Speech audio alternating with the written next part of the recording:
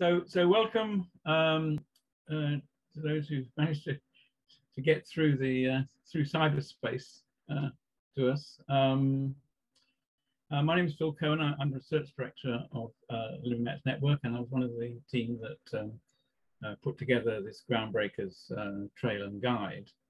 Um, and I'm delighted this evening that two other members of the team, Toby Butler and Jonathan Gardner, joining me, and we're going to um, unpack some of the some of the, the issues we we worked through in putting the guide together from, from our different uh, perspectives. Uh, I'm an ethnographer, John is an archaeologist, and Toby's a, a, a public historian. So um, you're going to get sort of three takes on on on on the project uh, from us. Um, so I, what I thought, uh, just say also a couple of housekeeping things. Um, been, we've enabled the uh, transcription uh, uh mechanism, uh, and also the, uh, the, the event is being recorded, um, and we'll be putting up a kind of an edited version of it on our website um, after this. And the other events, this is the last event in the launch program for Groundbreakers. Include a number of uh, walks and also um, some uh, some uh, webinar discussions. Um, so yes, all of those. If you've missed any of the other ones, uh, you can find uh, uh, the videos video link on our on our website. So please do that if you if you want to look at those. Um, but I thought we'd, we'd start. Um, Toby, if you could um, take that's right. Yeah. Um, I thought we'd start just by looking at a, a, very short film uh, that was made um, with a rather interesting soundtrack um, about, uh, well, I think we'll just, we'll just play it and then we'll maybe have some things to say about that.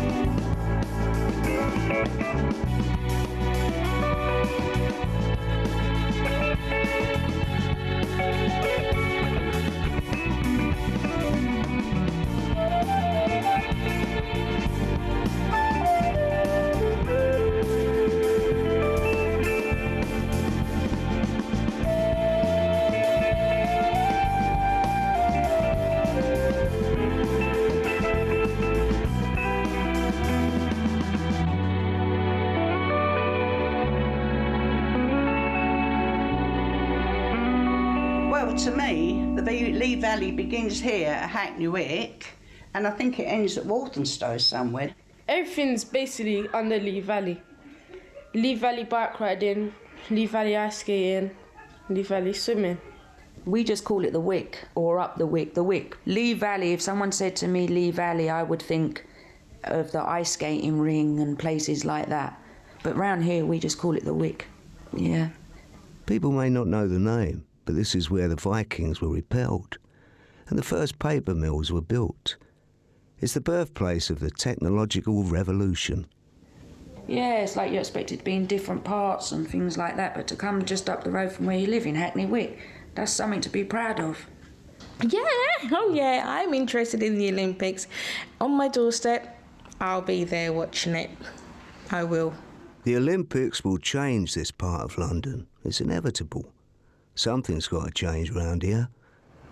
The only thing I would love to see here, I don't know if it's ever going to work, is signs for dogs. You do, do hear that Dick Turpin used to roam down here. And before the war, we used to have sheep on the marsh.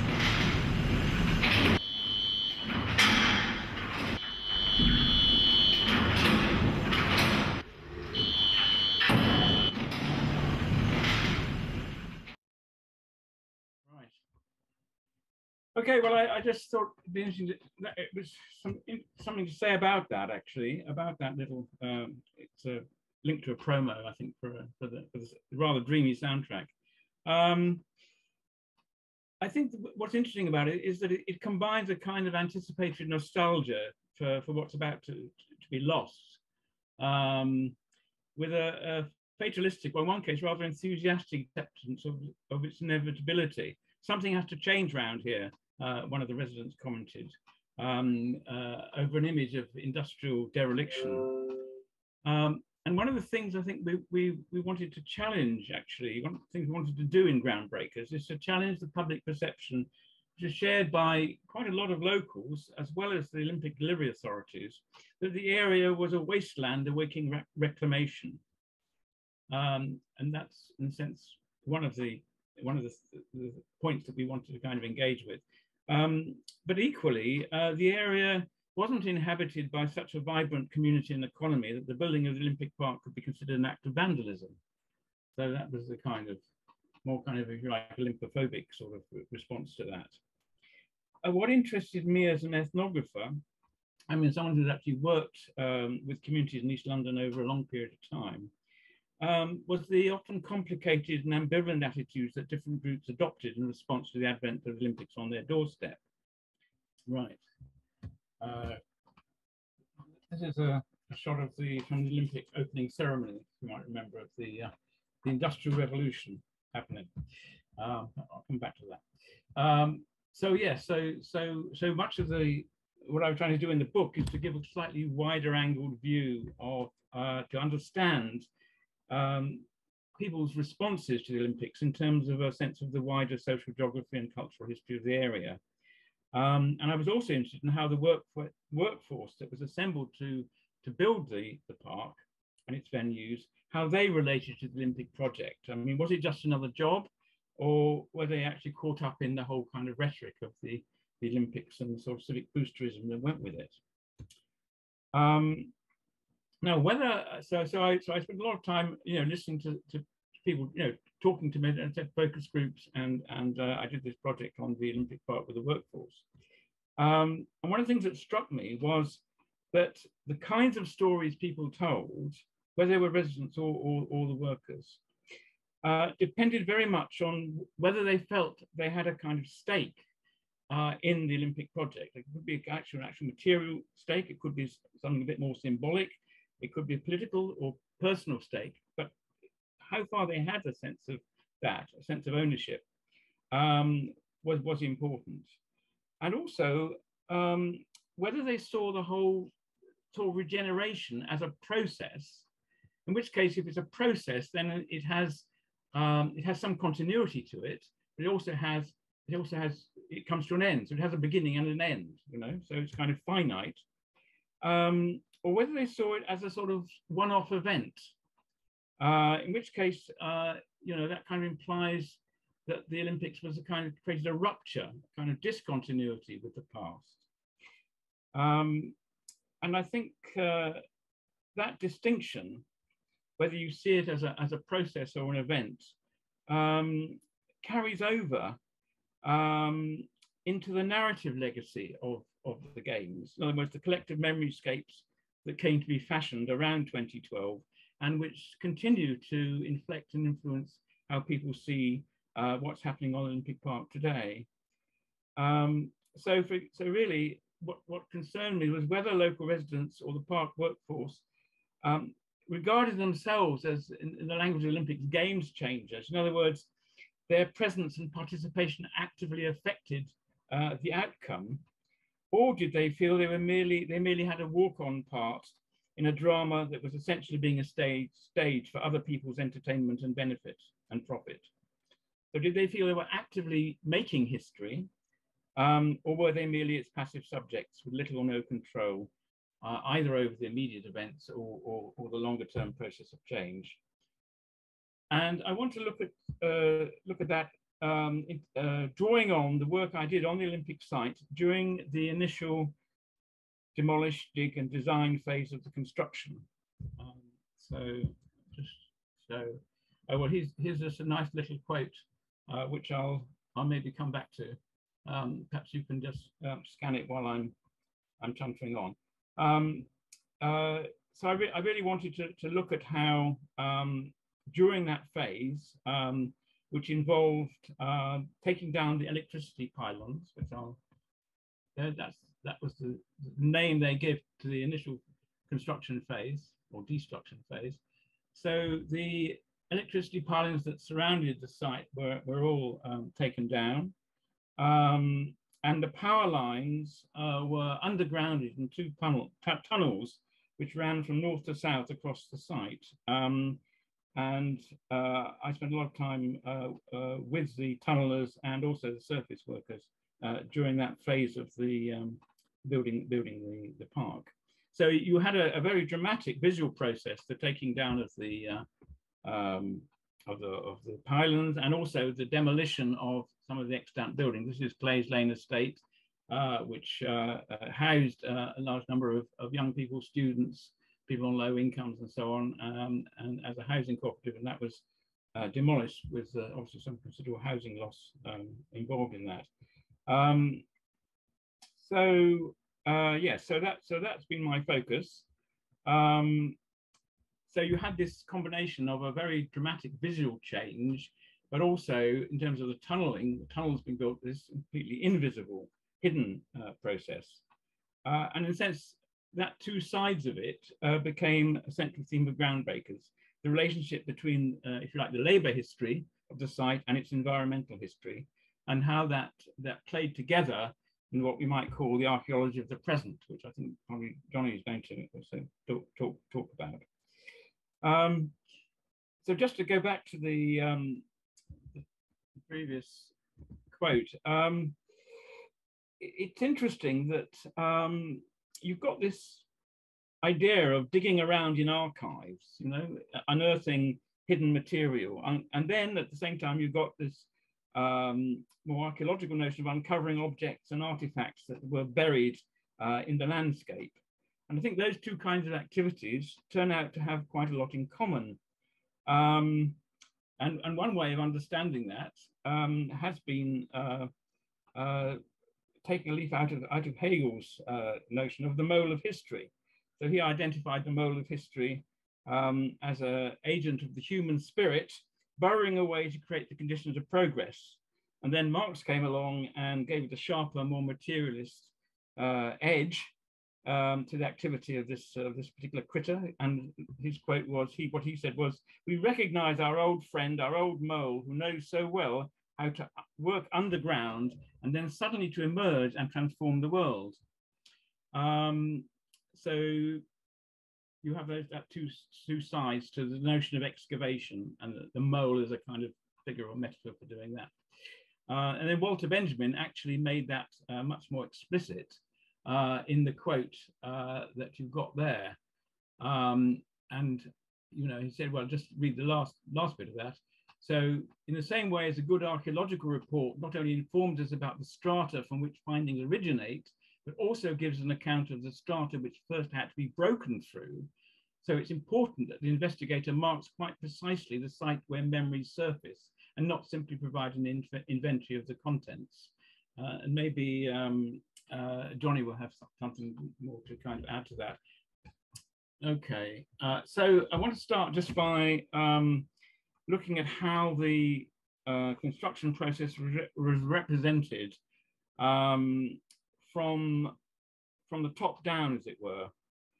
Um, and this is probably quite a good example of that. Um, this was a, a publicity still that was issued uh, about 2007, when there's five years to go to the, um, the opening of the Olympics.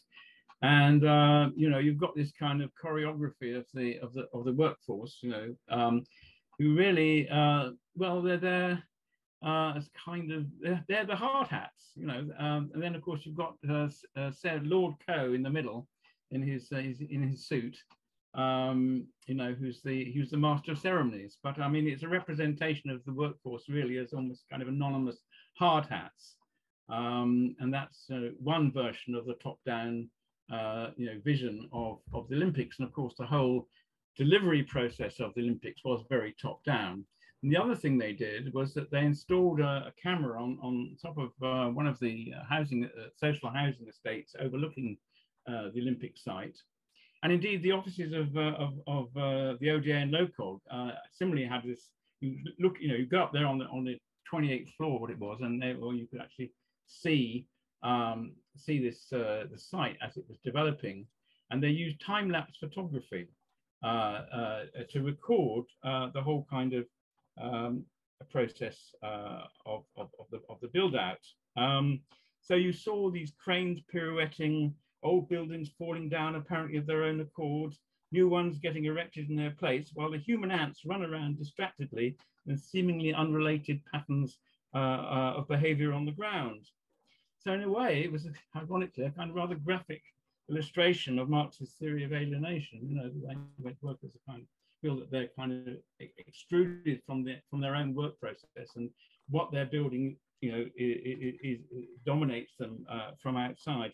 And on top of that was Labour's commentary about uh, incremental progress how there was this determination to meet targets and over, overcome all obstacles so the, the aim of this kind of way of representing um, you know building the park was an attempt to um, demonstrate its epic scale but what was missing was any account of what any of that meant to those who worked on the site. Um, and what my work did was, I suppose, uh, try to show how uh, important the, the place was to, to the workforce as a, as a place of memory, as a memory scape, as a source of shared stories, and in some cases, a richly imagined world. So what I want to do then is, is try and um, uh, uh, go back to 2007-8 uh, and listen to what the, the work, workforce itself had to say. Now, I was hoping to actually have be able to have clips of the actual interviews I did. Unfortunately, I'm afraid you probably gathered my technological skills in this matter are not very great, and I, I couldn't actually get the uh, the actual live interviews. So I've had to uh, have to, had to quote uh, from them so I'm not going to read these quotes out because that would be substitution, that would be impersonating um, the workforce. And ethnographers don't do that, right? We create a platform in which people can speak and actually tell their stories. So I'm going to ask you just simply to, to, to read down these quotes, um, maybe concentrating this case in the, in the second paragraph. Um, so I'm going to just pause for a moment uh, while you do that.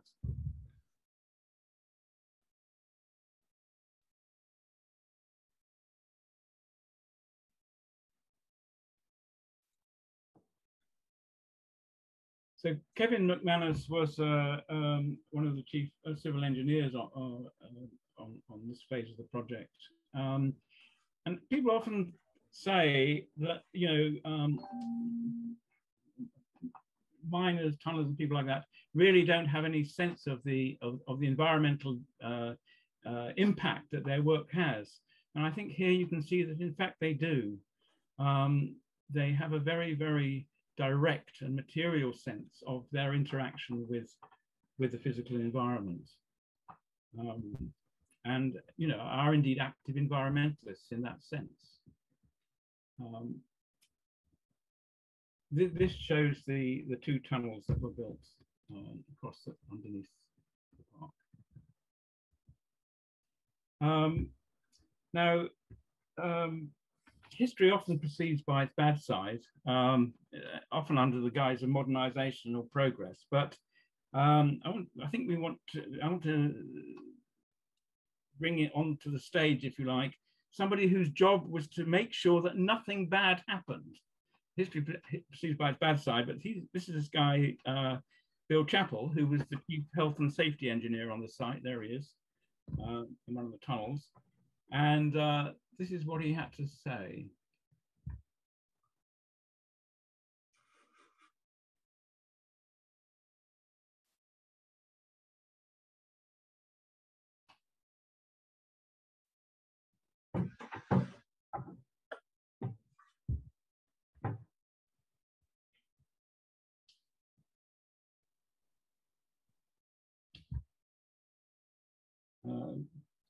Bill was a West Ham supporter, actually, um, as well as uh, being a fan, an addict of disaster movies. I asked him what he did in his spare time. He said, I watch disaster movies.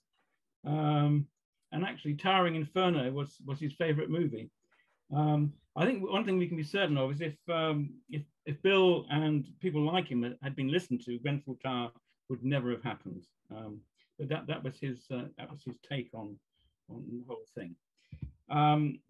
Now, of course, the thing is that the, the fact that the the the site was was so contaminated um, was, was a kind of key key theme throughout the the whole of, of this phase of the of the project. In fact, the the whole uh, project had to be stopped for several days when um, the tunnel boring machine ran into an unmapped underground store of toxic chemicals, um, and, and the tunnel had to be evacuated. I mean, fortunately, nobody was uh, was badly affected by it.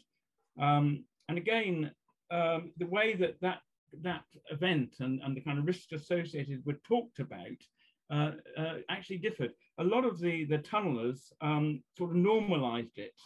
Um, uh, you know, it was just, um, it was a risky job uh, and, and such events were all part of the course.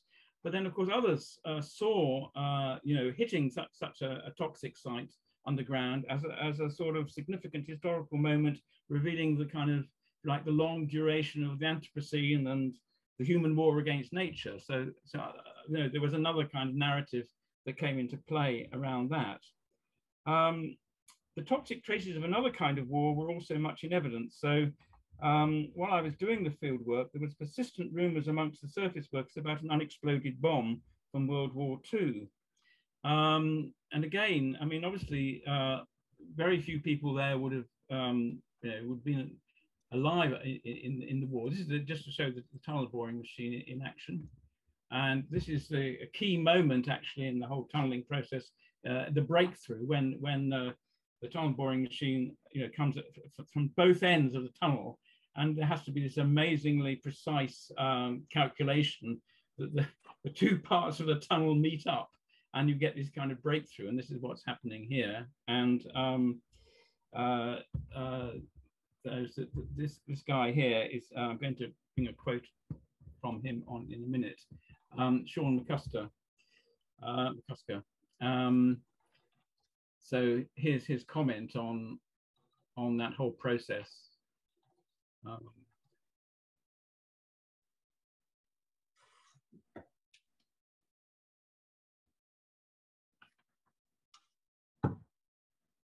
So the sort of shadow of the Second World War was sort of haunted, was hang over the whole uh, the whole project, and kind of ironic in a way because the whole the whole rhetoric of uh, uh, of this phase was you know you know building you know its transformation, uh, build you know building into the future, uh, this kind of positive aspirational sort of rhetoric uh, that was mobilized around around the whole Olympics uh, including this phase of the building the park. And yet, uh, for those people who are actually working there, uh, this this idea of this kind of lethal presence of, of, of, an unexploded bomb, it dramatized it, um, was very much uh, on their minds. And um, in fact, a lot of them, in, in the Second World War, of course, a lot of in the, in the bomb sites, kids used to go around collecting shrapnel. And a lot of the surface workers actually did the same thing. I mean, all those years later, because they unearthed bits of shrapnel, and I think somebody found found a um, a gas mask um, somewhere. So you know, there were these kind of material traces of, of the Second World War that uh, were, were, all around. Um, on the other hand, that wasn't the only findings. Uh, uh, as uh, as Sean said, there were other um, other things that people found uh, that had uh, happier associations and, and helped to create a, a much more positive uh, memory scape.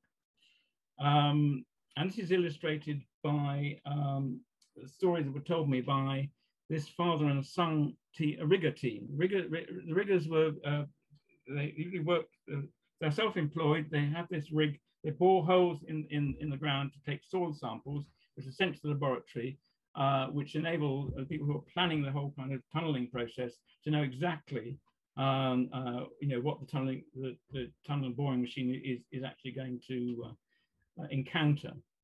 Um, and uh, they were, uh, and particularly uh, uh, uh, Mark, the, the dad, uh, was a real scavenger. He spent a lot of uh, spare time on the site actually scavenging around for, for stuff. And they did find a lot of stuff. Um, um, uh, this is uh, Gary showing one of, one of their finds, uh, but they found all sorts of um, bits and pieces. Uh, and since they visited lots of sites in, in the course of, of their work, uh, they had a collection of Roman coins um, and all sorts of kind of other things. So they were kind of amateur archaeologists, right?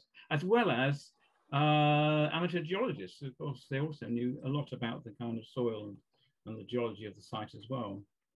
Um, so um, this was, uh, I did these interviews with them and uh, one part of this uh, with, uh, with the son, with, uh, with Gary, was actually used by the, um, the LOCOG on, on one of their posters. So he's quite chuffed about that. Um, I mean, it's not often that actually the workforce got their voices um, and their stories actually told as part of the Olympic story. So is an example of actually that actually happening. Um, but I'm going to end on this. Um, uh, Gary, uh, um, um, uh, Mark uh, made a, a, a map, uh, customized the uh, Monopoly map as a, as a present to his son for his 18th birthday.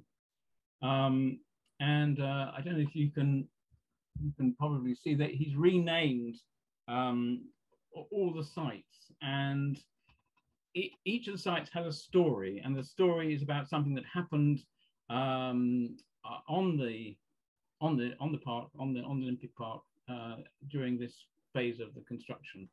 Um, so so really it's a, it's a it's a kind of it's a map it's a kind of aide-memoire.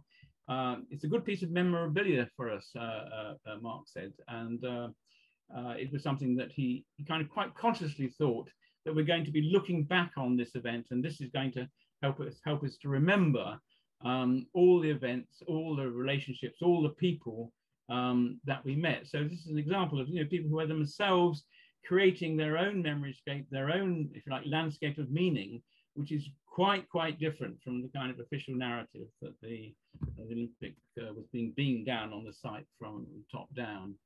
Um, so um, uh, each site then has a, has a little narrative uh, attached to it.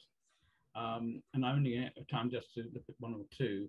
Um, I thought this was interesting because um, they uh, they renamed Whitehall on the on the uh, Monopoly map. Uh, they re renamed it the Lying Tongue. So I thought that was quite an interesting comment. It's both a comment on, on you know, how they perceive Whitehall and particularly all these uh, government.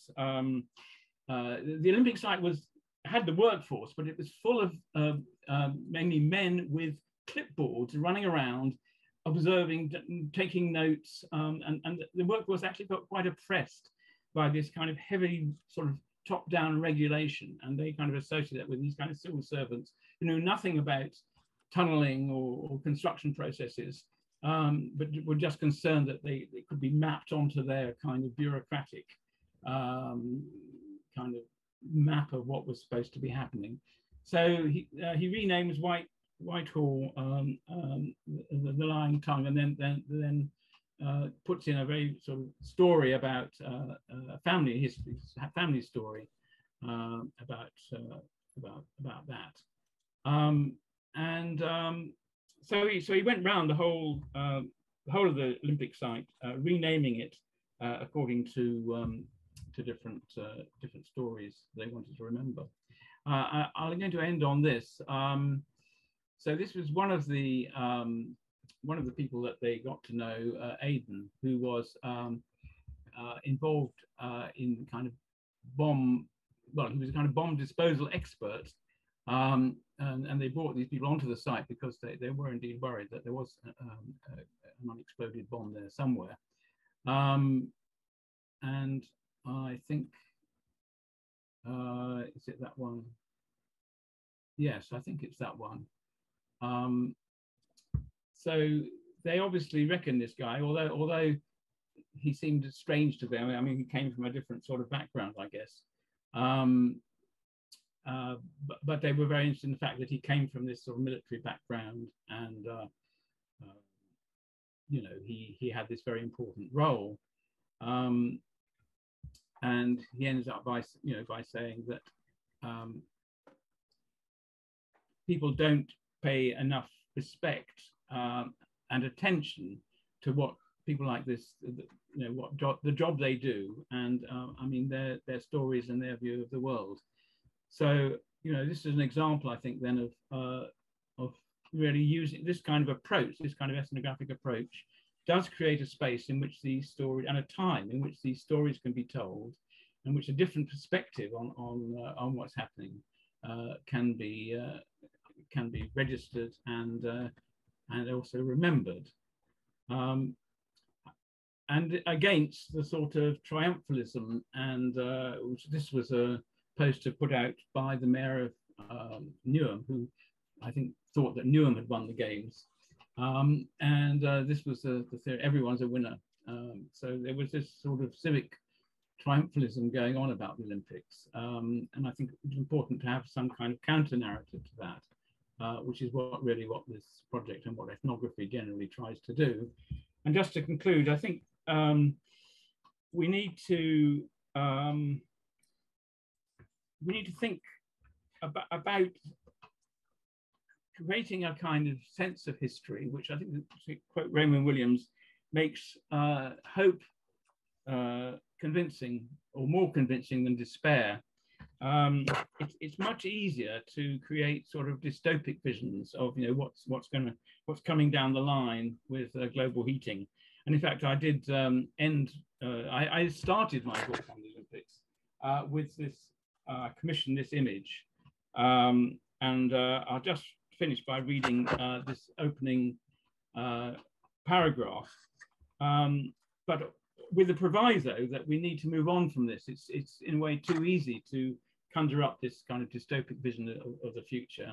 We need to produce a history that gives us reason to hope. Anyway, I'll finish with this. As evening grew on, we went to what was left of Tower Bridge to watch the Paralympic dream, marveling at the flickering figures as they vaulted over the sandbag parapets in their giant wheelchairs. Our gaze was inevitably drawn downriver to the famous motto, Amplius Charius Colossicus, written in neon lipstick against the city's darkening rim. It was time to visit the Olympic Park and sample the remaindered glory of the Games. We hired a gondola at the Isle of Dogs, and as we approached the site, were overwhelmed by the awesome spectacle of the orbital tower, now leaning more crazily than ever Pisa's did, its noxious weeds cling to its superstructure, creating a veritable hanging garden of London Babylon. So um, I started the book with that but I, I ended it on, on a more hopeful uh, note. And I think, I think uh, that in a sense, when we think about what ethnography can bring to the party, I think it's a more grounded sense of the present, um, but also a, a sense that um, its relationship to the past and the future uh, is still in play. It's not something that's, that, that is fixed. It's not something that, we, that certainly should be foreclosed um, and that therefore it's something that creates a space for, for further debate, for further negotiation, and further interpretation. Um, and I think groundbreakers, in a way, what we try to do in this project is, uh, you know, create uh, both through the guide and the uh, the trail uh, more food for thought. So it there. Lovely, thanks, Phil. Um, right, uh, uh, if you could, I, am going to share my screen. I, I unshare. I, let me just do this. Yeah, there we go.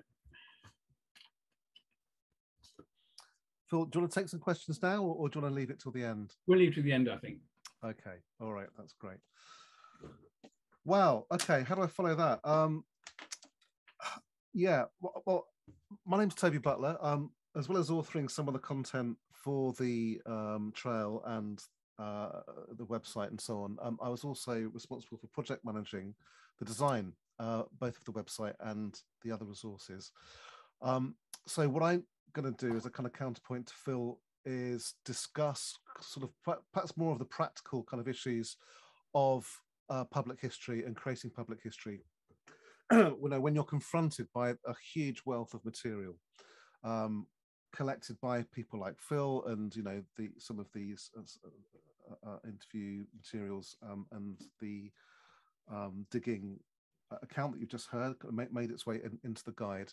But Phil wasn't the only one working on this. Um, we had a, a, a teams of, of students and, and, senior volunteers who visited local and national archives um, to find information out uh, about the site itself alongside various expert writers and academics. Now, if this was a film and I could roll the credits, you know, at the end where you can see, you know, all of those uh, extraordinary list of people that were involved, um, I think the sheer number of people in creating the content might surprise you. At least 30 people were directly involved in researching and creating content for this. And if you count the various website authors that we contacted, the archivists that helped us find resources, the school children and graduate students who helped us develop the augmented reality trail, we'd probably be looking at upwards of 50 people. Now, if I push this point even further to include people whose work is presented in a new context, the photographers, for example, of the uh, archive images that we used in the project, the authors of the reports and the books and the articles that we drew on, um, and the people that we directly quoted, we would now be looking at well over 200 people who could justifiably claim to have some practical, creative, or intellectual contribution to this guide and the website. So these 200 people are what Raphael Samuel called the invisible hands that co-create works uh, of, of public history and, and in fact um, all history um, but I think it's worth just pausing for a moment to reflect on what an extraordinary collective art creating place-based history like this is.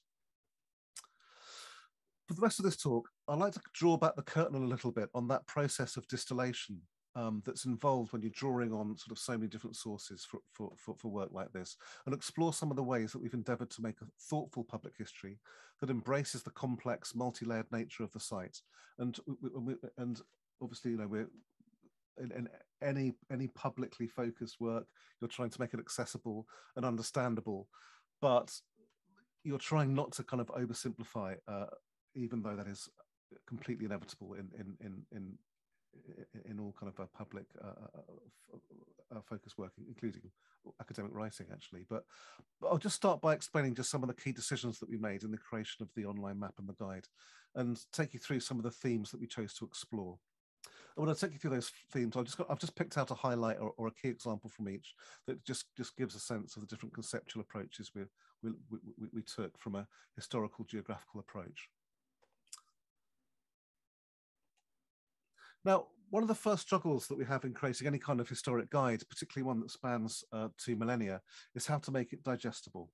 And and usually this involves working in some kind of narrative and in publishing that's usually done by writing thematic chapters in a book but when you're dealing with digital storytelling it's not so easy particularly when you're dealing with location-based material organized on a map on digital maps the user can click around wherever they like uh, and also we're dealing with a park um, and we wanted this to work uh, in some way uh, in the park itself on mobile devices and then we have an additional problem that the uh, the the park user can come in from one of, of dozens of, of, different sides of the park, and we'll be doing material um, in, a different order. Um, so this makes uh, makes it pretty difficult to kind of to have any kind of narrative thread really um, through uh, through map through map based material. However, maps can be wonderful spaces for carrying historical material. Historypin, for example, Layers of London uh, are perhaps the most user-friendly uh, and well-known platforms for this in the uh, London context. And they're fantastic examples of citizen-generated historical mapping. But when there's too many pins or it's mixed up with too many themes, it can quickly become quite overwhelming. And we also felt that very brief material, which is so common on Google Map entries, simply didn't have the depth necessary to convey things uh, or, to convey enough of the complexity of the various forces at work in the history of the park site. So we therefore explored map platforms that would be comfortable to browse, but also could cope thematically with in-depth and quite lengthy textual material. So we ended up using StoryMap.js. This is a free platform. It was developed in, in the States by Northwestern University. And um, it, we came across it from Liverpool Museums, who had just started to use this for some place-based projects on, on slavery. Now, story maps could, ac could accommodate introductory material, um, and as you can see, quite lengthy text, um, which you can scroll down, um, which meant that we could introduce a theme, and also it had the flexibility to be explored by clicking on the map icons, uh, like Google Maps, or you could do it in a particular narrative order by using the arrow keys, uh, which appear on, on, on either side um, of the screen. So let me just demonstrate this. I'm just going to move, move to the website itself. Okay, so here we are. Uh, this is a story map, and you can see um, we're on the whole map here, and you've got a you know a kind of higgledy piggledy collection of 32 um, icons here, any of which you could tap on uh, and go straight to um, that particular story. Uh, but notice at the top here, we also decided to go with a thematic uh, route. Um, and that meant that we could have, you know, uh, uh an, introduction um, which Phil basically wrote, but then we could link the various points that, you know, that, that we felt kind of spoke to that particular theme. So the, um, you know, the user can kind of have a, a much kind of more um, in depth or or, or sustained uh, engagement, you know, um, with some of the wider patterns and ideas, uh, rather than a, a, bitty experience of, of clicking around um, a very crowded um, Google map. Um, now there are there were some downsides to this approach and, downsides to using Story Map. The main one is that if you click on any of these points, um, or you click on the arrows to move through uh, the story, as it were, uh, the problem is that I can't actually link directly to this article. Okay, the the um, the web address is exactly the same for this entire map, and in fact, actually, this is five separate maps uh, which David Dorrington, our designer, um, had to create to make this work. So these are, these are five completely different maps and five completely uh, um, different um, uh, web uh, pages. But it just just kind of makes um, referencing kind of individual uh, um, elements difficult, and, and, it isn't a problem that you get you know, using more popular platforms. However, it's what the lovely thing about it is that you can embed it on on any, on any website, and um, and we decided that we wanted it embedded on the Living Maps website primarily because it's something that we knew we could maintain uh, for you know uh, for, for for many many years. Um, which can be a serious problem with you know when you're creating just project-based websites that are only funded for two or three years and, and they just disappear into ether. Okay, um, so before I go back to the presentation, uh, I just uh, want to draw your attention to the resources pages. So um, and please do you know have a look around this uh, this site if you haven't done so already. But we've also got the the PDF uh, guidebook here. We felt that was important for people that don't want to click around a map and would much prefer um, a written guide. So that's that's over 100 pages and includes all of the content that's um, that we created. We've also got an augmented reality trail, which I'll talk about a little bit later, and some teaching resources. Uh, again, I'll mention this a little bit later on. So just so you know um, that, that there's some other kind of quite important elements of the project which are hidden away under that resources button. Okay, let's go back to the presentation. So in the past, there was a tendency for some local historians to envisage places as very fixed, bordered and defined, with specific, somehow intrinsic character that emerges over time. Recently, work by historic and cultural geographers has challenged this conception and argued that places are subjects of, to all kinds of flows and trajectories and shifting patterns of nature, power, culture, and capital, which makes for a more complex and sometimes much more difficult history. And it's hard to think of a more dramatic example of these geographies playing out in a short space of time than what even recent ancestors would have recognised as marshlands uh, at the Olympic uh, site area until relatively recently. So with this in mind, in our guide, we trace these four major currents of change. And I'll outline each theme and give you some of my uh, uh give you some of my favourite examples from the trail to illustrate. But before I go on, I just want to quickly mention the intended audience. While the park attracts up to 6 million visitors a year now, most of these visitors are local people. And we were particularly keen to offer something that might interest both people that might have lived have lived experience of the site, uh, and also newcomers, be they young people in local schools um, or colleges or universities, or those moving into the area, and to give them an easy way of understanding more about the site history and its significance, uh, and also a way in for them to find out more um, should they need to do so. Okay, so let's start with fluid history. So this is our first theme. um, with, uh, with the, the, blue rings, as you can see. Uh, this traces the entangled flows of people, goods, water, electricity, and waste that have shaped the landscape. Here we trace the possible locations of a Roman river crossing that must have been here. We consider the crucial role of the waterways for the industrial and natural history of the area. And we learn something of the culture of the tunnelers who, as Phil has been describing, recently physically and for us metaphorically, burrowed underneath the surface of the rapidly transforming site of the Olympic Games. Now, one example from this is, uh, is an article um, called Industrial Flows, and this deals with the waves of industrial development that have shaped the site. Several entries in the guide are concerned less with specific features, but these larger historical and geographical patterns. Now, in this case, Juliet Gardner explains how industrial use um, of the site began in the Middle Ages with milling, um, but the site was predominantly rural until the 18th and particularly the 19th century, when new metropolitan building regulations attracted noxious trades and chemical-based industries, alongside manufacturing and later recycling and waste management and even retail after the collapse of the docks. So in the guide, we touch on several examples from her research tracing the 284 businesses that were forced to relocate as a result of the Olympic site development. And these 284 businesses employed nearly 5,000 people. Juliet discussed this in quite a lot of detail at an earlier event, which you can um, see the video of if you're interested uh, on the Living Maps website. So I won't go into any, any depth, but she's also published this superb book, uh, Dispersal, um, published by English Heritage, um, if, if you want to know more about that.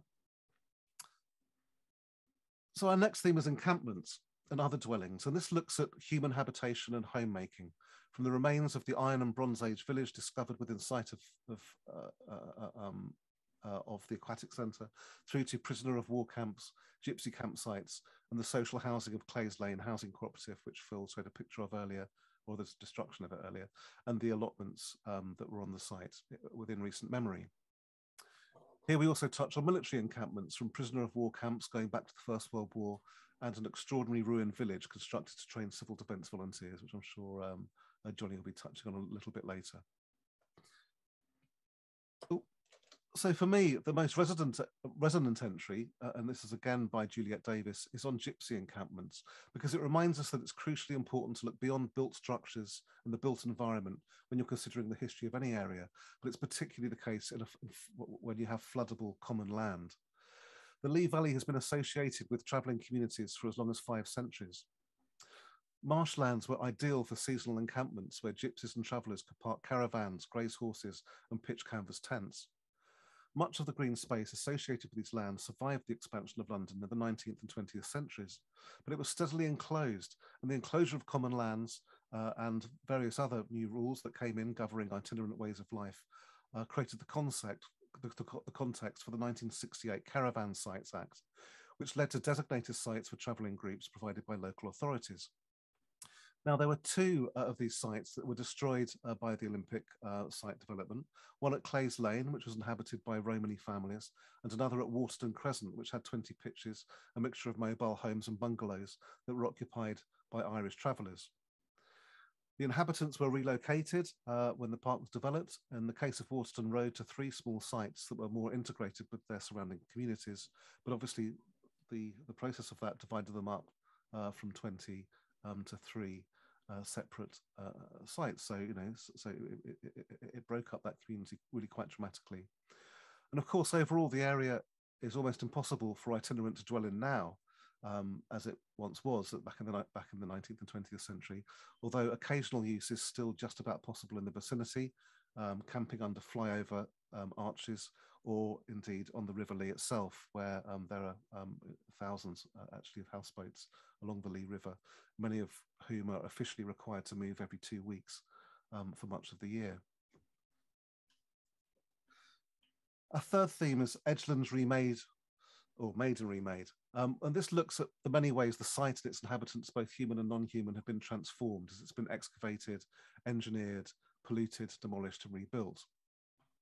So here we consider, as the Olympic opening ceremony so dramatically portrayed, how commons used for grazing gave way to the Victorian megastructures on the site, like Stratford Railway Works and Clarnico Sweet Factory, some of the biggest industrial complexes of their age. But we also consider lesser known changes, the legacy of pollution, managing flooding, dealing with human waste, and the trajectory of biodiversity. We also consider the, the conceptual history of the site as a borderland by policymakers, dealing with everything from sewage to industrial zoning and post-war road planning. So for this example, I'd like to take Clarnico Sweet Factory. It's a massive Victorian complex established in 1872, some of which is still in, in existence in the form of the King's Yard uh, um, buildings. But it grew to be the biggest confectionery firm um, in Britain uh, between the wars. So for this, I'm going to show you a video. It was shot on site of the augmented reality model, um, which we had commissioned by Hyperactive and, Heritage 5G. So this was a, a video that was filmed uh, uh, um, in, in the testing phase. Um, and it just gives you a sense of what happens when you're kind of there with a mobile phone. And we've got various signs around the park with QR codes. You, you use the QR code and um, it gives you access to, uh, to this experience.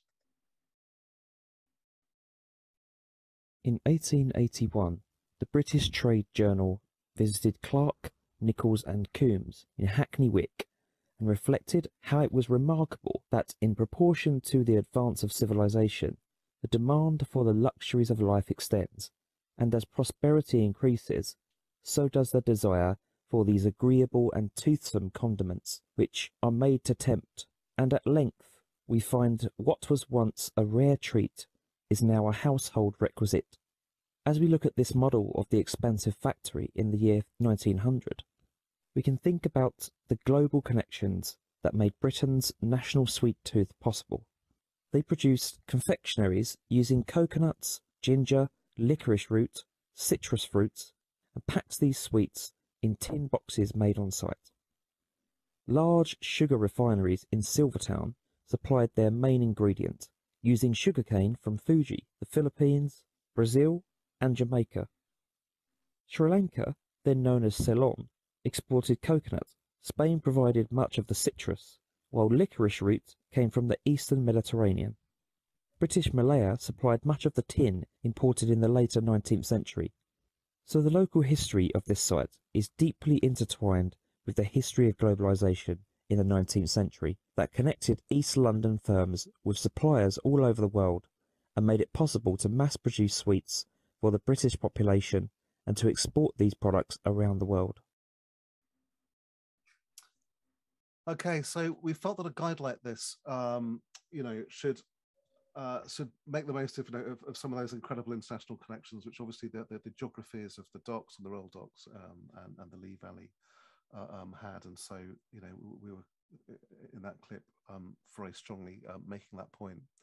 We also felt that a guide like this could be a really great starting point for further research. So after every entry, uh, we include links to further resources and relevant archives. So for example, for the Clarnico um, entry um, in the, the online uh, map, we include details of the firm's sweet recipe book, which you can actually go and see at Newham Archives um, and also to oral history accounts from workers which worked at Clarnico. Um, Clarnico um, uh, closed down relatively recently, uh, uh, uh um, so so there are there are people alive um, that remember it. Um, and, here we've, we've, we've got a lovely account of someone who remembers working in the chocolate section and um, workers would often spill chocolate deliberately down their aprons, take it home, and then break it up uh, into chunks and give it to their kids um, smuggling it out uh, in that way uh, when they got home. Well, our final theme is level playing fields. This examines the changing patterns of local labour and leisure in the 19th and 20th centuries as communities struggle to improve their conditions of life, including through sport and leisure activities. On the labour front, we encounter some of the industrial disputes. Some of these were of national significance the Match Girl strike, hugely influential on the formation of trade unions, the Pentonville Five, imprisoned for striking at Chobham Farm Container Depot, which in turn led to several industries and all the major ports in the UK being shut down in 1972. Of course, the theme of leisure can't be ignored either. From the astonishing, astonishingly successful boys' club, Eton Manor, set up to help the poor by philanthropists from Eton School, um, Eton Manor established a boathouse for rowing, which is still visible on the park border. They built a sports centre, which included the acquisition of the cinder running track used um, at the Wembley Stadium in the 1948 Olympics, uh, which was relayed here. And uh, there were uh, many, many international uh, and, and, and, famous kind of athletes um, trained, uh, trained here. And we also couldn't leave out Hackney Stadium, first established in 1932 as a greyhound racing track, it was familiar to gamblers nationwide as races were broadcast on television every week to betting shops all over the country when off-site gambling was legalized in 1961. The stadium had a capacity of 50,000.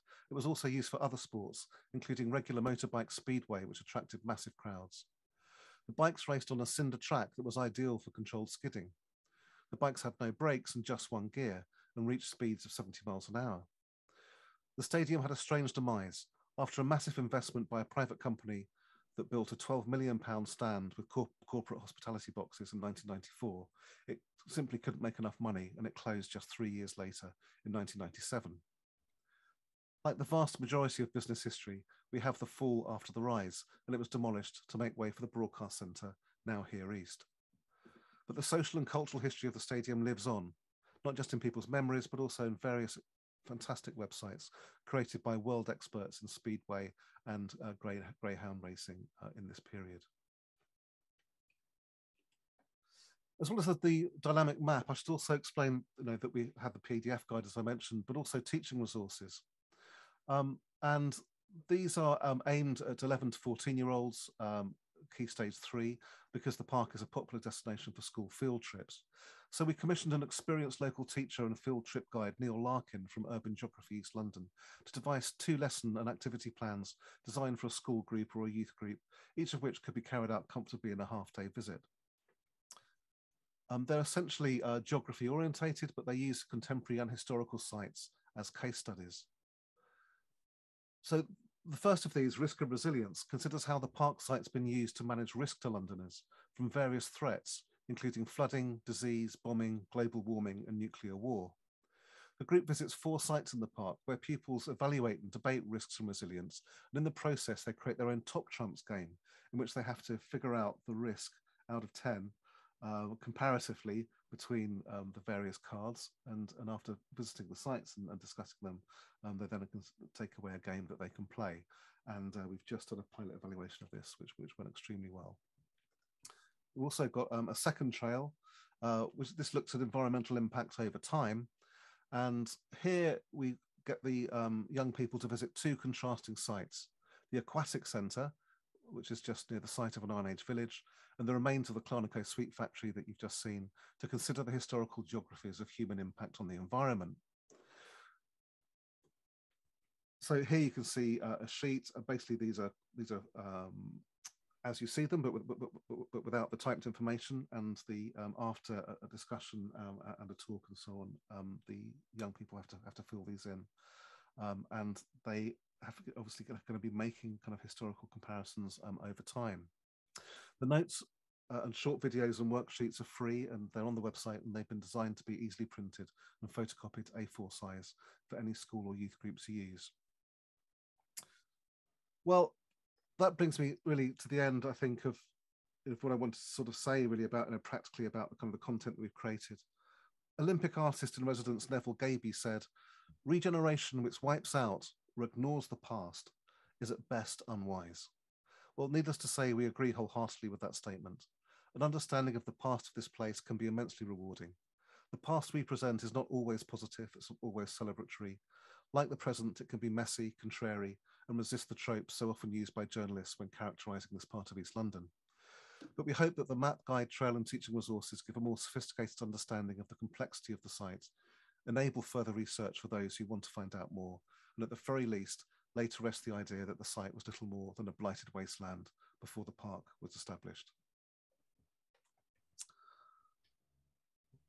Right, I'll leave thank, it there. Thank, thank you, Toby. So, um, right, um, now, um, so I think we'll go straight to, to Jonathan Gardner, and then we'll have uh, uh, questions uh, at the end. But please do use the, um, the chat facility uh, in the meantime. If you've got um, points that you want to, to raise, questions, um, uh, please do use that, and then we'll, we'll come back that uh, at the end. Jonny. Great. can everyone see that okay? I'm assuming yes. Um, can't see any of you for some reason now, but anyway, I, I, I hope it's it's all uh, showing up. So uh, yeah, I'm Jonathan Gardner. I'm uh, an archaeologist and heritage researcher based here uh, in Edinburgh, in Edinburgh College of Art. Uh, so I'm a kind of archaeological consultant to the project, if you like. Um, and sort of this, my involvement has been really with this project since about 2014. So today I'm going to kind of talk about, well, what does a kind of archaeological sensibility bring to the, the project? What does, what is archaeology for in this case? Um, so my involvement began really when um, I was carrying out PhD research at the UCL Institute of Archaeology um, between 2012 and 2016. And um, uh, yeah, into actually not just the Olympic Park, but the, but the heritage and archaeology of mega events more broadly around London. Um, so you can see some of those here, particularly beginning with the first ever so-called mega event. So these events are kind of international in scope, um, are temporary, usually only for a few months or maybe a year at most. Um, and, and I was comparing, firstly, um, what is the history of each site before an event is built?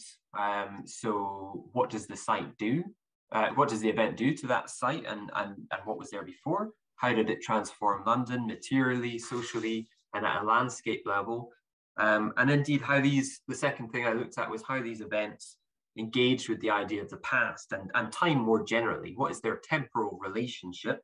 And indeed, you know, how do they create the future, often through visions of new machinery or technology at these big old festivals, ex exhibitions, or indeed with the kind of regeneration and legacy rhetoric of London 2012, as you, you may well know.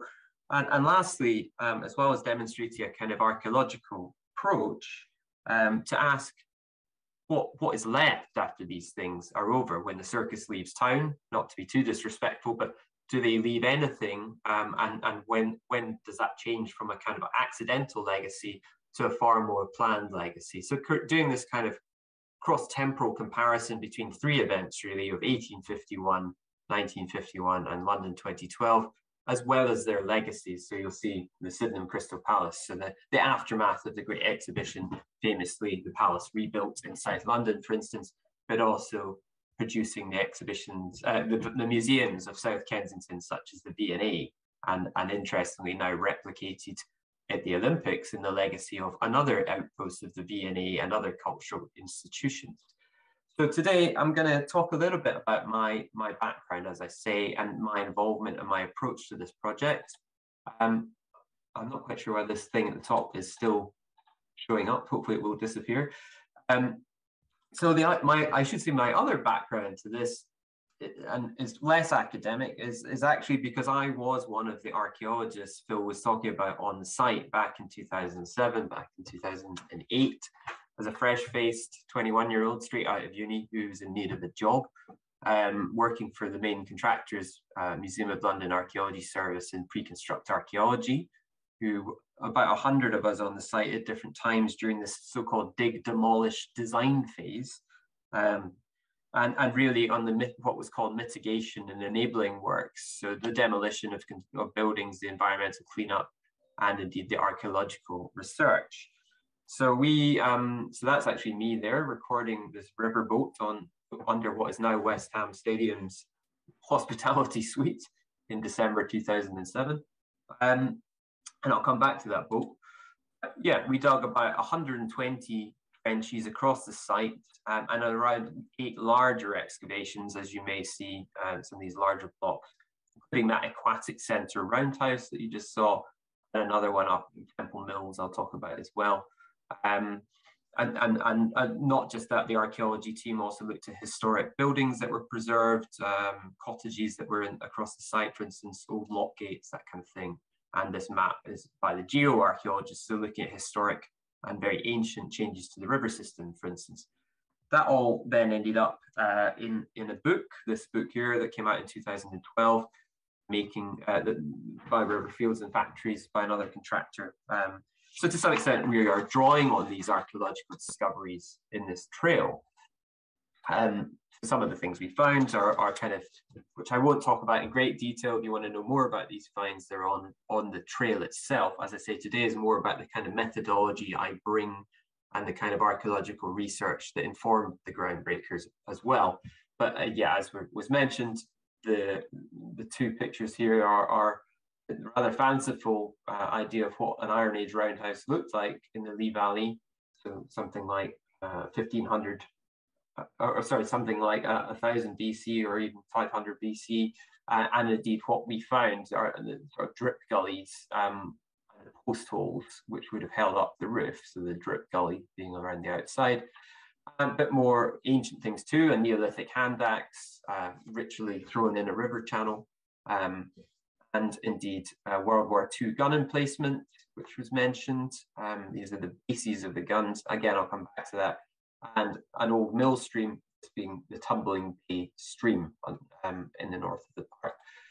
So I also wanted to, I'm just going to try and get rid of this um, thing. One second, how do we get rid of this? It's hiding, isn't it? Uh, okay, sorry, it's, it's, not, it's not going away. Um, anyway, the I also wanted to talk, as Phil did, about the people that built the park. Um, and uh, in this case, the archaeologists themselves. So there's another hotspot on that, if you like, within the, I think the Edgelands remade, what would the role of the archaeologists themselves was. Often working very challenging conditions, very muddy, very contaminated, um, very cold at times. So you can see the respirators and rubber suits we had to wear a lot of the time. So that too is part of the history of the site that's sometimes forgotten. Um, so my approach to all of this, uh, in terms of my own research, which resulted in, in, in a PhD and, and now a book which came out recently and has now fed into the Groundbreakers Trail, really is, is what is called contemporary archaeology. So using archaeology to study the recent past or indeed the present. Um, and this is just another image of that large excavation in the north of the park. Um, uh, and I'll come back to that perhaps at this time at the end. So contemporary archaeology really is, is a broad church. There's a lot of different ways of doing it. It's interdisciplinary, but really asking how does the contemporary world uh, exist in, in the form that it is? How is it produced materially and representationally? Um, how can we use archaeological theories and methods to investigate it? Um, and, and you can do archaeology for any time period. That's something that's long been recognized in the history of archaeology. It's just until recently people didn't necessarily feel uh, that they wanted to do that or that it was accepted. But thankfully, that is now changing, and there's a large overlap and uh, credit here to anthropological material culture studies and so forth.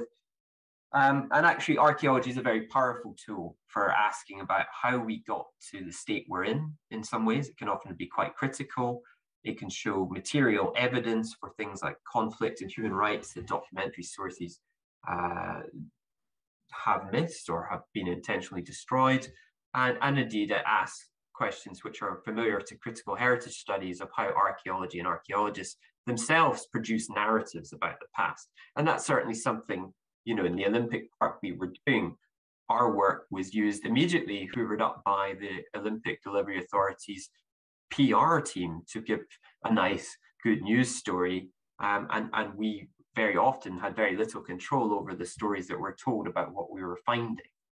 So it was a politically active actor, if you like, archaeology too, within this construction and demolition process as well. So, and, uh, you know, without kind of going into huge theoretical arguments here, but contemporary archaeology is particularly interested in this idea that Phil has hinted at heterotemporality, how the past and present and future intersect and how we as archaeologists and, and others assemble that um, assemble narratives in the present from the scraps of the past, if you like, uh, drawing on, on, on kind of again Walter Benjamin's ideas, particularly this idea of a dialectical image, where there's a kind of in this conscious assembling of drawing together scraps or fragments of the past into the present. There's a moment of recognition, a juxtaposition in the now, and and really what he called dialectics at a standstill, um, and, and with, a, with an idea that in this moment of recognition, we can make changes. We can say that the, the now has a, has a history, the present has this past. Um, that is not necessarily, it's not, it wasn't the only way history could have gone, to put it simply. So, but archaeologists like uh, Shannon Dawdy have extend, extended this into the process of archaeological excavation literally, whereas Benjamin was using it as a metaphor or an analogy. Sometimes it has been used by archaeologists really to understand uh, situations of social inequality in the present, for instance. So, and, and the idea is that we are not digging up the past as it was. We are digging up remnants that indeed were produced in a time in the past, which is now indeed past. Um, but these fragments, we are making narratives about the past now in the present.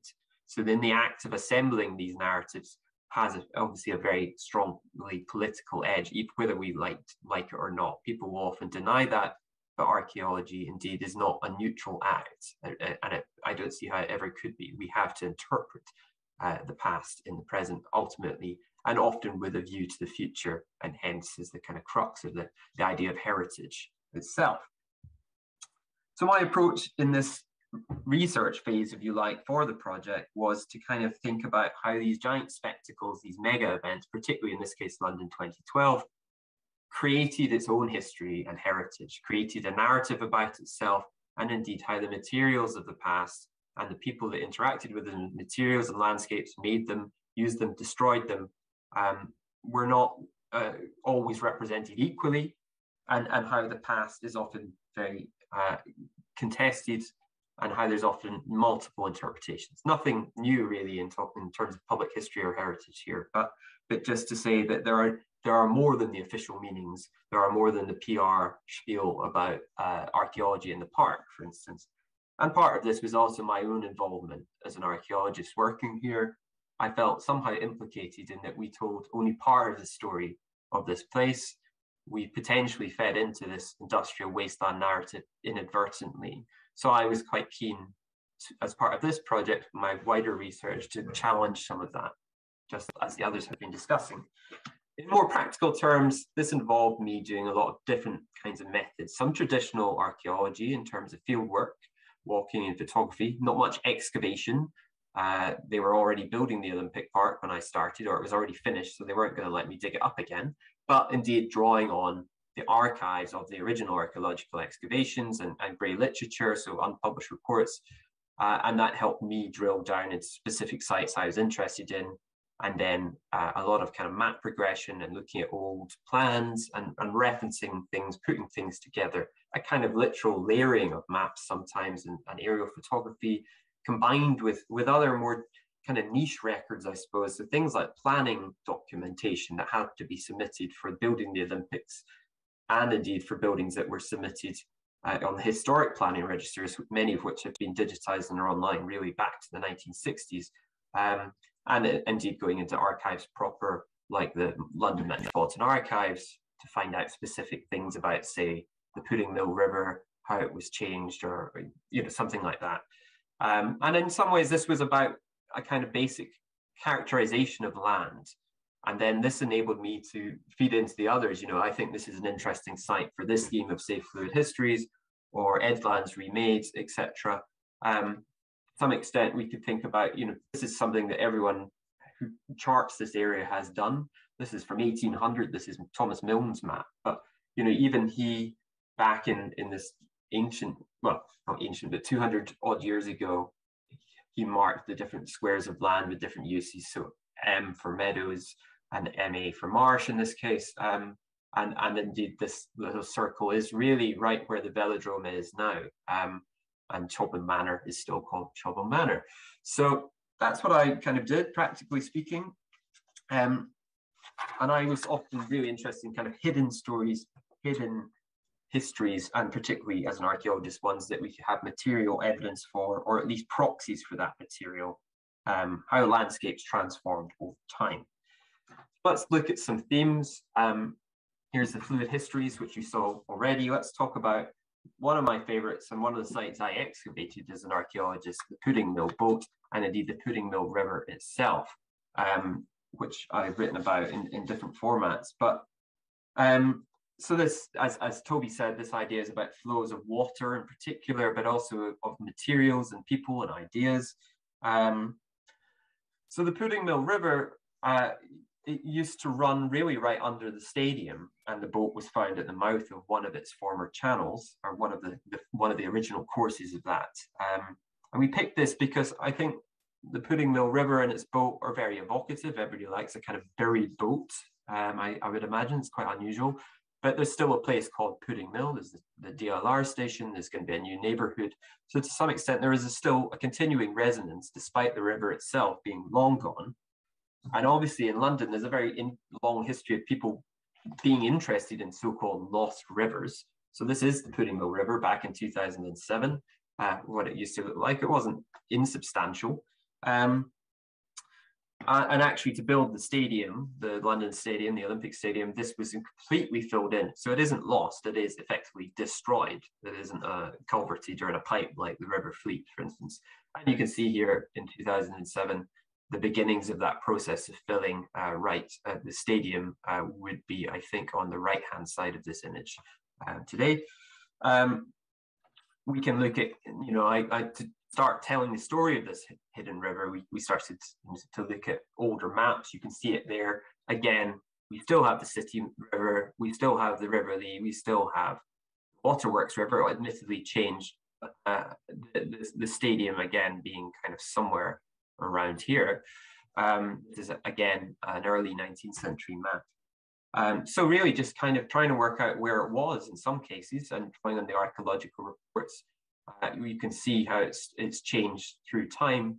Um, you can see there's up at the, it's actually quite in this green outline, it's, it's quite winding. Up here is where we found the stadium is here. And this is, I think, in, in the 1860s, so not much industry.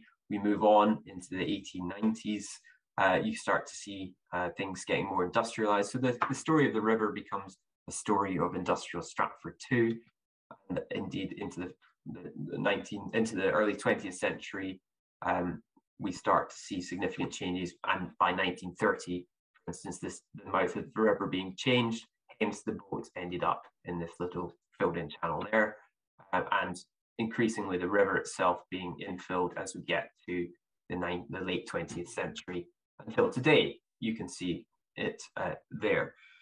So, and I also kind of put together other kind of less accurate maps, I suppose, or at least more detailed maps. We see one of those businesses that Juliet talked about, the, the galvanizing business, the boat was found in this little uh, yard here, and the Pudding Mill River runs down there. So north is, is kind of over here, and the stadium today is where it says planting. So back to this, really, the boat itself is this kind of the most famous object probably of the archaeological excavations. It's on the front cover of the books, as you saw. Um, and again, much of what we did was distilling that kind of complicated archaeological story into that small snippet for the for the groundbreakers trail, but also providing extra information itself, but also saying um, this is something that you can, okay, you can't visit the boat itself, unfortunately, but we, you can visit exactly where it's found. Um, uh, and also the fact that this was part of a much longer history, as I say, this is the galvanizing plant and it ties in, it isn't separate from these. There's a long kind of durée of history here. And indeed, you can walk to the site now. This is the Pudding Mill River as infilled today, just on, as I say, next to that hospitality suite. It doesn't run, the big coffer down here, but it is there you can see the old entrance. You can see where that footbridge used to be that the sign was on I took earlier. Um, so let's look at another example. Uh, back to kind of defending London. This was another favorite of mine. And, and again, a complex story to distill even into this quite long text. Um, I was kind of looking at the archaeological reports of uh, this is the kind of guns that would have been there four and a half inch, or sorry, three and 3.7 inch guns, which then got upgraded later in the war. This is uh, a, a, similar one in Richmond Park, and that also kind of uh, was the, one of the issues that I think Toby will agree with. The images are so important for something like this, and if we don't have them, which we didn't for this, we have to find good alternatives. So thankfully, there is a very similar example here, and there's another in Mudchute even to this day. Um, the archaeologists excavated part of the gun site, so this is from the report uh, of that time. and you can see it there in the aerial photograph partially excavated and including these nice steel helmets they found there. The archaeologists, however, seem to have missed things. I, I must admit, I was not part of this excavation, but um, because they talked about it as a purely Second World War site, but actually what research for this project and my own research has shown is that this site had a very long afterlife. It's actually more heavily used after the war as a, as a Civil War uh, defense training ground. So these helmets actually are more likely to be from its period from 1953 to 1968. Now, what this was, uh, was, was, as Toby mentioned, um, a site for res practicing at rescuing people from London being bombed by nuclear weapons. Amazing as that might sound, or ludicrous as that might sound, um, the, the gun pits, some of the original walls you can see here and in the background here, so these octagonal buildings on the plan, were repurposed and they built like 20 different ruined structures, intentional ruins as it were, in some cases reusing blitz materials uh, where they could practice, the rescue teams could practice uh, bringing people out of buildings uh, should the worst happen. So should London be bombed by the USSR, uh, by nuclear weapons. Um, and increasingly after the, the H-bomb was developed in the mid 1950s, uh, the Corps were seen as kind of outdated and, and really the chances of being able to rescue anyone or let alone get close were seen as, as kind of minimal. So by 1968, the, the organization was uh, abolished but it was extremely popular. There was 250,000 volunteers in this organization across the UK at the time, and they were constantly training, but it was actually quite open. It wasn't a military organization. It was a civilian one, so they had open days, they had competitions. So this is really a piece of hidden history that until my research uh, had been all but forgotten seemingly on this site. You can see some of the plans from the Metropolitan Archives there really beautiful architectural sections and um, of, of like the intentionally ruined factory there, for instance. Um, and I, you know, I tried to find out what happened to it afterwards. By the 1970s, the Lee Valley Park was formed, and they seem to have dumped a lot of earth on it.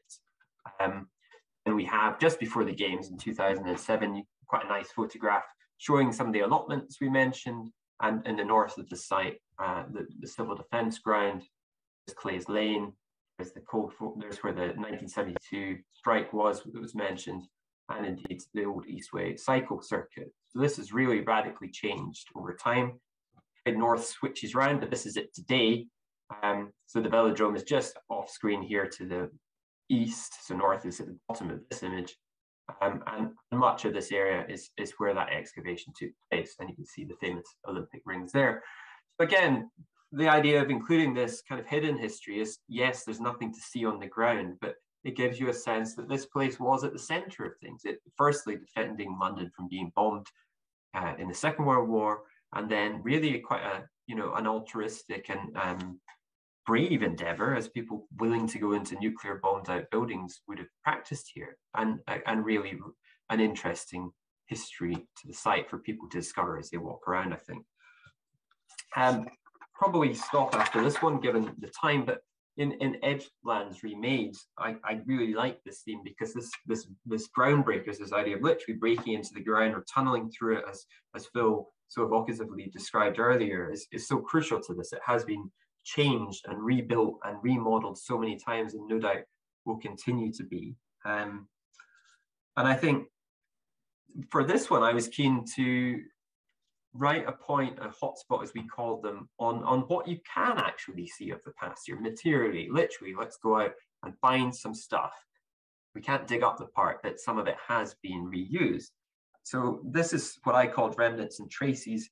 Um, and as you can see in this picture, if you go to any of the bridges of the Olympic Park and you look into these massive steel gabions, which are kind of mass filled to, to keep the bridges in place, I guess, um, it within them is, is crushed concrete, sometimes crushed brick, crushed glass bricks, and even bits of granite setts and cobblestones.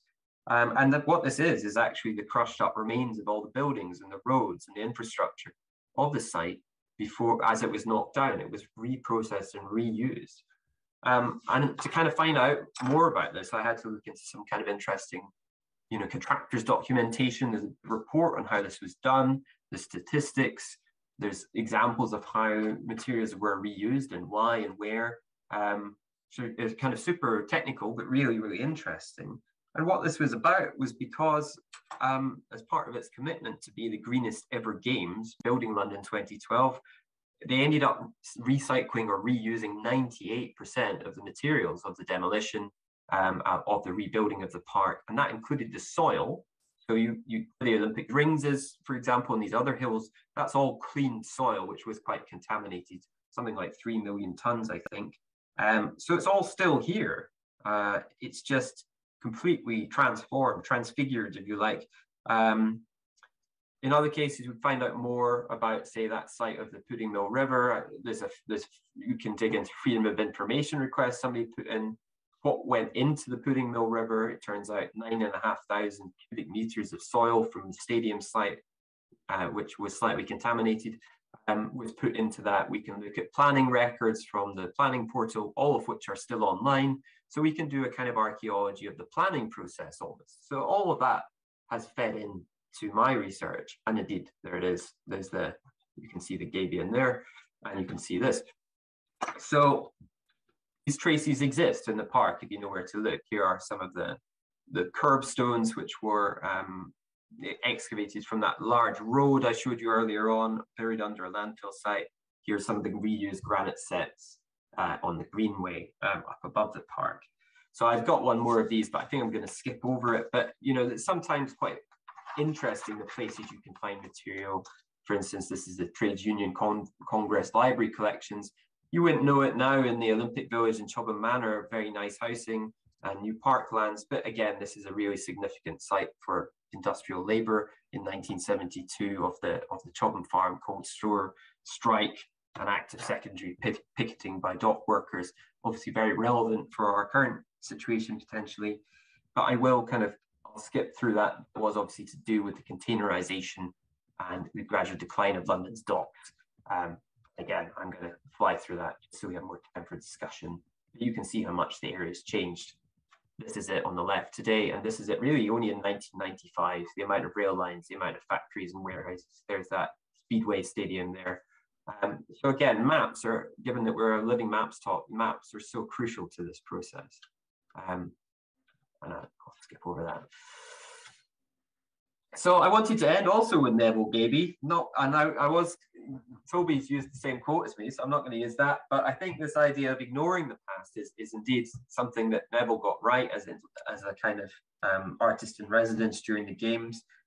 And you know, I wanted to focus on this image he put together um, as part of his residency. Um, and in this, he was interested in how past and present often conflicted or, or at least meshed up against each other in the Olympic Park. So here he's intentionally created this image freeze frame to look like Georges uh, Seurat's famous bathers at Asnières uh, of, of, I can't remember the date, of the late 19th century, um, which you'll probably know by image if not by name. And, and obviously there's a Parisian suburb on a rapidly industrializing periphery. You see the factories in the background. And, and actually, rather than he, he then released the, this image in, in the Metro at the time in 2012 in the newspaper. And actually, he said he found it interesting that the CGI representations of the future, that many of which we've seen today, reminded him of this older image. And actually, then he kind of had this weird idea of recreating an older image based on CGI, although this is very much real, took a lot of effort to organize. But he says in, in his book on this, he said, here, you know, the original image, France embracing the Republic, an urban public park populated by workers, factories in the background, the economic drivers of the 19th century. Compare that to a post-industrial landscape using sport and leisure to reinvent itself, described as a new park for the people in East London. The implication, I think, being, you know, what what happens, you know, when when something so well known for industry and so well known for this kind of dirty past, if you like, um, is completely reimagined into something completely new. It is a very new frontier for this area, but it is important to not lose that kind of depth of history and those embrace. You know, I think we should be embracing these tensions between the past and the present, and and this idea that it was a wasteland is a way of erasing that tension or that complication or nuance of history. I think and I think the Groundbreakers has been such a powerful force to kind of complicate history, if you like, in a, in a, in a playful way sometimes, and in quite a critical way at other times. And I think that's something that this area and indeed the whole of London really benefits from, rather than saying this is history, that's the end of the story. There are many histories, there are many people, there are many materials. So I'll leave it there. Thank you. Oh, I should say, if you want to know more, obviously look at the Groundbreakers website. Um, I have now written a book about all this, which is free to download from UCL Press or indeed purchase for a low price. Um, and that covers a lot of what I've said today, but not just the Olympic site, uh, all of the sites of the mega events of London. Thank you. Okay. Well, thank you very much, so much, uh, uh, Jonny, for that. Uh, well, I'm conscious we, we've overrun our time, um, but I hope those that have stayed with us have, uh, you know, felt that they've got, you know, at least some uh, more in-depth understanding of, of, of, the issues we, we had to work through uh, practically as well as conceptually in, in, putting this project together.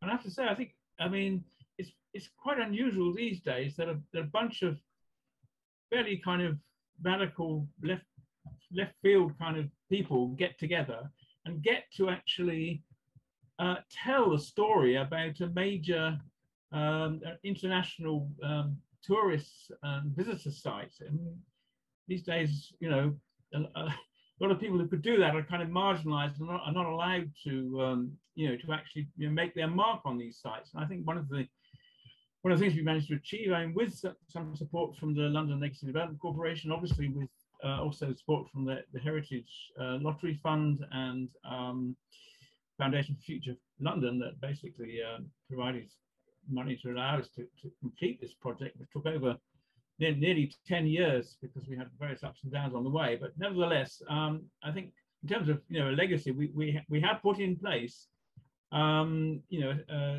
the trail and the guide, which I mean, as as Jonny and Toby both emphasized in different ways, I mean, do put in question the sort of dominant narratives of this place, um, but also the dominant narratives of, of regeneration uh, more generally. So, uh, you know, so we feel it was, from our point of view, it was worth um, staying with it, and um, thank all of you for staying with it uh, through this presentation.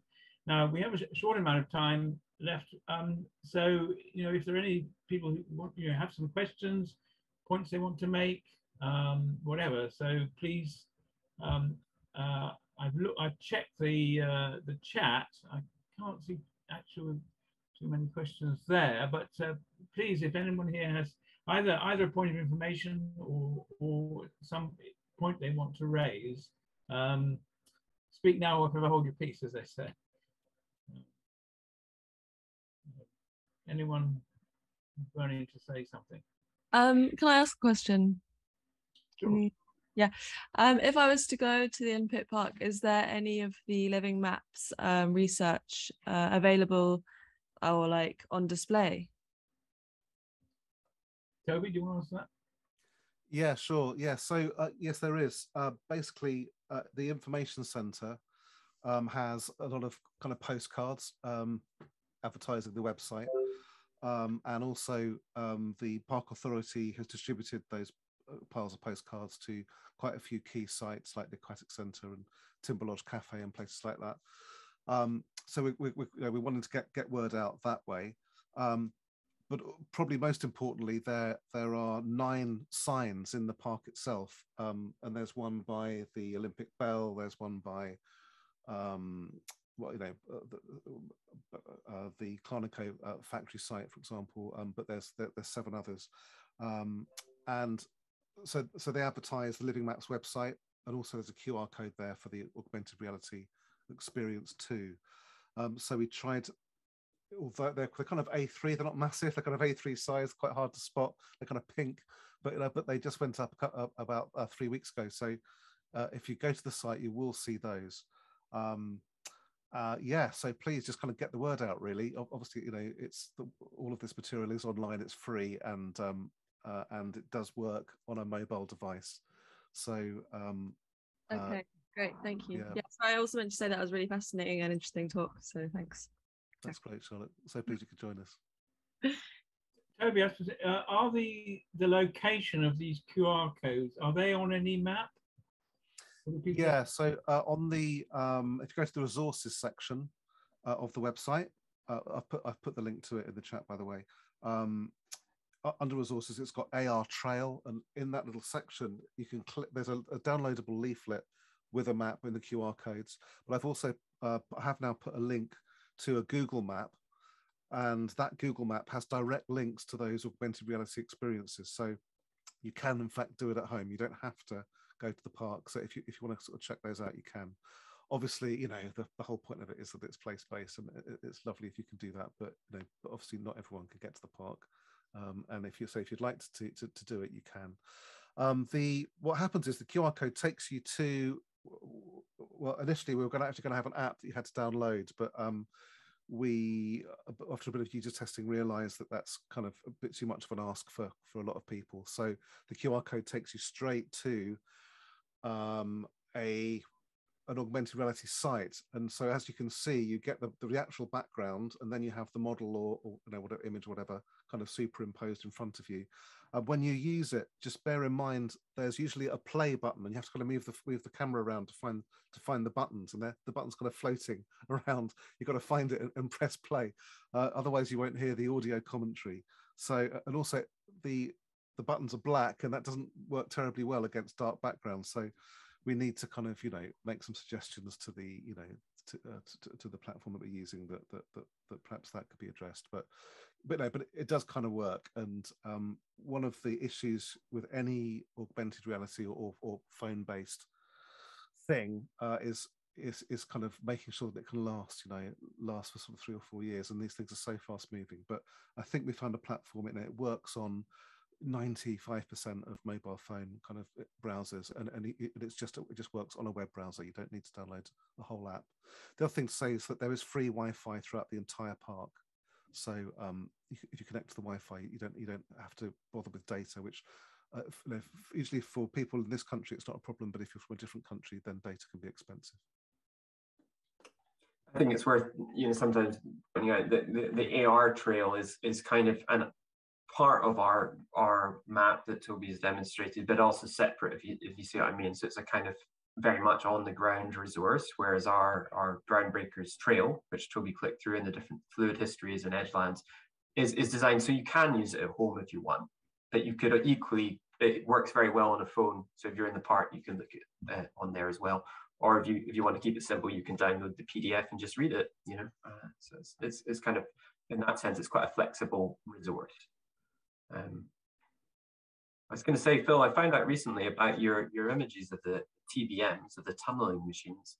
Um, the one of them was called Helen. Apparently, they always have women's names. Yes, they have women's uh, names. Yes. Um, and uh, I, for some, I can't remember why. It was one of those random FOI requests or emails I sent a couple of years ago. But I was in touch with Murphy, the company, the contractor who was running them, and I asked, well, what happened to all these TBMs after the games. Because you know when they build the you know crossrail or some of the tube lines, sometimes they just drive them into the earth because they're too expensive to remove. In this case, because they were small, apparently they were removed and cleaned up to be reused. And TBM Helen, uh, God rest her soul, uh, was used to dig a tunnel under the River Ribble. Uh, I think that's like Mer- Merseyside, isn't it? And but it got stuck in the mud and flooded, and the, the tunnel had to be abandoned. So, so actually, one of the Olympic TBMs is now an archaeological artifact halfway under the River Ribble, which is quite a strange thing. So it's a kind of yeah, an echo of your of your ethnic ethnography, perhaps. I don't know, but I find that I find that fascinating recently. But it's it's great to see more about your your work. Well, I, there were two machines. Uh, one was called Helen, another one was called Sonia. Oh, right. Uh, uh, they, I mean, it's very interesting because obviously you, know, you think time tunnel is very macho uh, culture, which in some ways it is. Uh, you know, that kind of manual, heavy manual work culture. But um, actually, um, they attributed various uh, feminine characteristics to these machines. I mean, Sonia was, was seen to be um, kind of quite capricious and unreliable.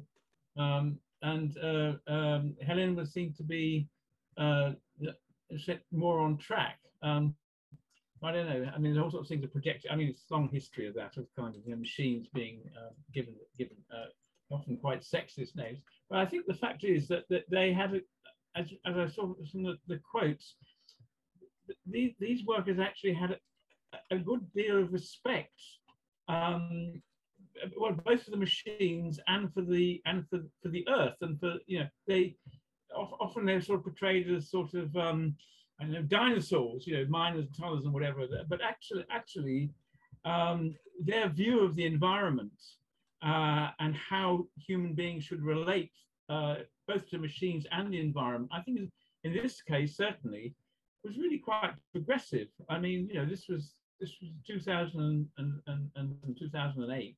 Um, of course, there was an environmental movement. I mean, they weren't actually part, actually, you know, joined these groups, but their actual perceptions of the land, of the earth, of, of the soil, uh, seemed to me to, to actually contain the elements of really quite a progressive attitude.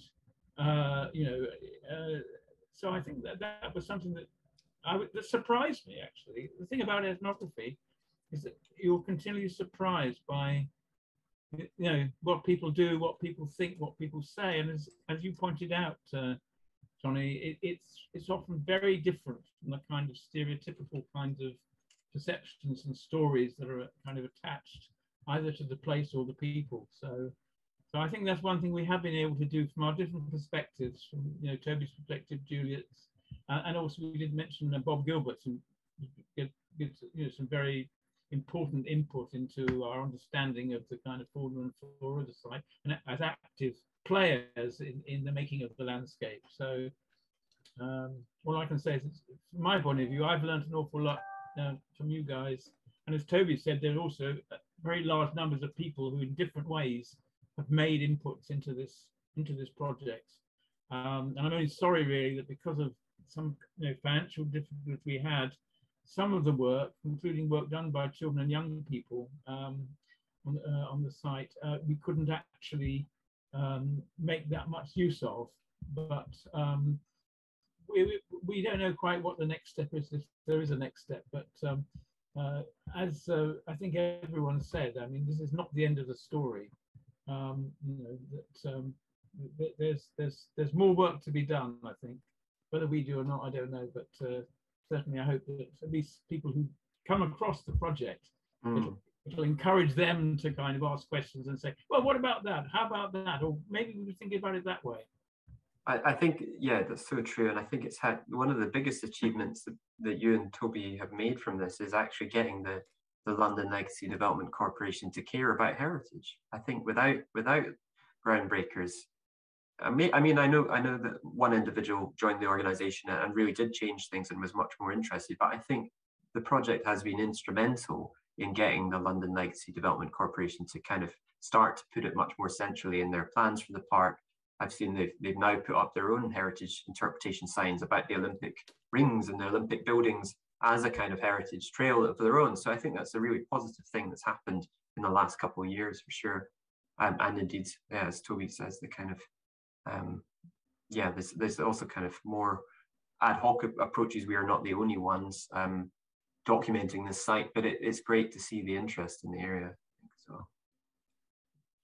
Yeah, that's a good point, Jonny. You know, and, and I, I, think you know, um, just you know, you were saying how important you know internet kind of web web research has been, but no, but also for some of the cultural and social history. I mean, some of some of the websites that people have created.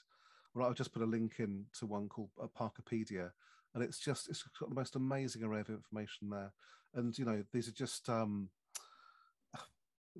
created by people that feel very passionately about you know a subject or an area or whatever, and um, it's just you know it's just enormously useful. And you know, clearly you know you've got to check sources and, and, and so on. And, and but um, um, just to say you know what what a revolution just you know, even sort of 20 years ago you know you'd be you'd be in the archive right looking at you know mostly printed maps and and sort of trawling through you know trying to find references to, to particularly to kind of things like gypsy you know culture or whatever it's just not going to be in there. So so um, it just makes makes our job so much easier now. And um, so yeah, just a, just a shout out to all, all the people that are doing that kind of work. It's just just amazing.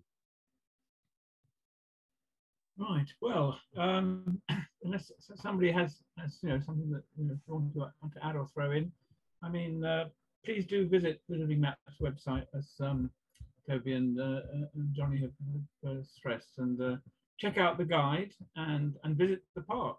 Um, and if you want to send us some feedback, um, you can always um, uh, put in a place where you can contact us, and uh, we'd love to hear from you, especially if, you know if you if you try the trail. Um, uh, so I'll put in I'll put in uh, our our website. Uh, no, I'll put in a, or you can email us.